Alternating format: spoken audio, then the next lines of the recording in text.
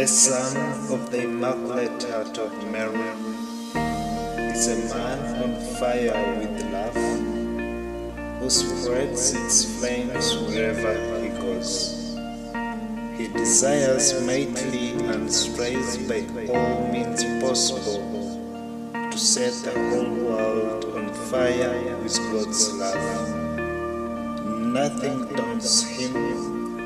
He delights in privations, welcomes work, embraces sacrifice, smiles at slander, and rejoices in suffering.